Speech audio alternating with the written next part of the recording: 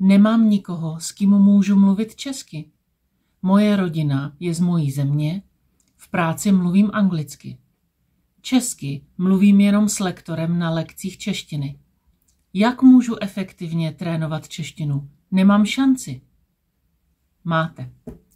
Já jsem Jitka Pourová, lektorka češtiny pro cizince a tady jsou moje tipy pro vás, jak můžete trénovat české mluvení. Tip číslo jedna. Mluvte s učebnicí.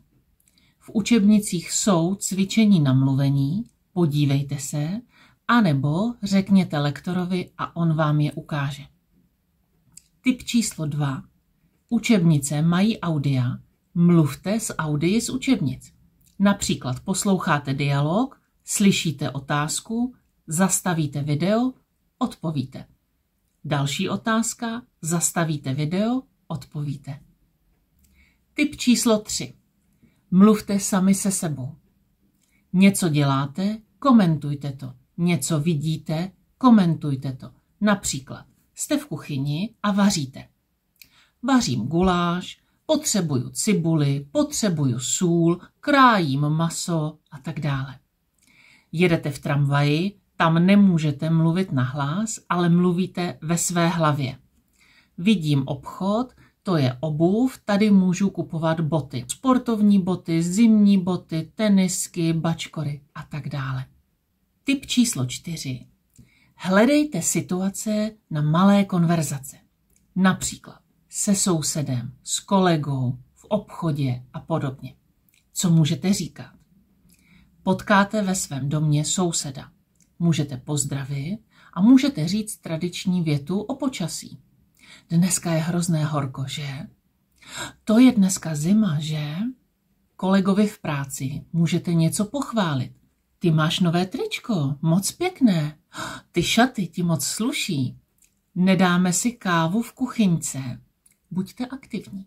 Můžete trénovat taky v obchodě. My máme blízko supermarket Byla. A tam je část, kde prodává prodavač. Musím komunikovat. Dobrý den, prosím, ten sír asi 10 deka. A taky prosím tu šunku, ano, tu šunku asi 20 deka. Malé konverzace. Buďte aktivní. Tip číslo 5. Internet. Na internetu najdete taky spoustu cvičení na mluvení. Podívejte se například na tohle, které jsem udělala pro svoje studenty. Já bydlím v Praze a v Praze je dneska zataženo. Jaké počasí je ve vašem městě? Jaké jarní počasí máte rádi? Já mám ráda, když je jasno. A vy? Líbilo se vám takové cvičení? Vyzkoušejte si ho sami. Link najdete dole pod videem. A tip číslo 6. Líbilo se vám takové cvičení? Máte lektora? Požádejte ho, jestli pro vás může připravovat podobná mluvní cvičení. Určitě to udělá. Tip číslo 7.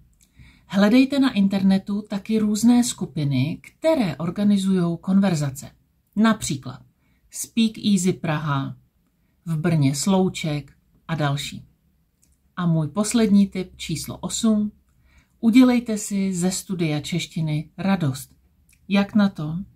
Podívejte se na tenhle link, kde najdete krátký text a moje další tipy, jak můžete trénovat. Ať se vám daří.